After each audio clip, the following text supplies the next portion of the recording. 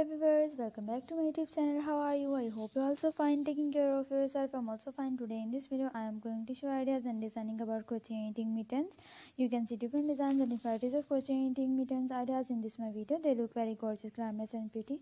You can easily buy it from market. Many styles and varieties of crochet knitting mittens are, are easily market and also buy it from many the different foreign countries and cities and also make these crochet uh, mittens in your own home by using crochet technique. They look very glamorous. You can buy in um, make in different colors such as gray blue black purple orange mustard yellow and also make in different multicolor yarn crochet mittens are also look like very gorgeous. Not only not only stylish but they are very warm.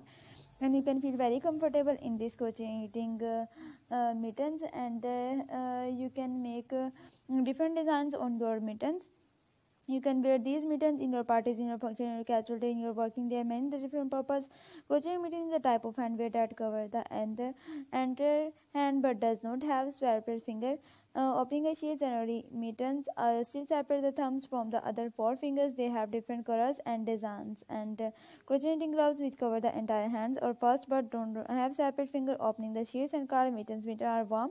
Then other styles of gloves made of the same material because finger maintain the warmth better than they are contact in each other reduce surface area reduce heat loss. Small children from wear mittens they are easier to put than gloves and it's common from uh, the attached to each other.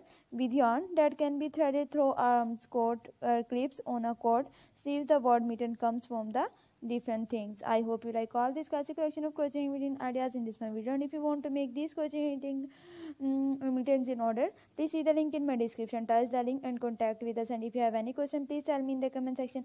I always available for you inshallah Okay, we'll you later in my next video. Thank you for supporting us. I pray Allah for your health and wealth. Remembers me in your prayers and don't forget to see my videos on my YouTube channel regularly. Take care and uh, goodbye.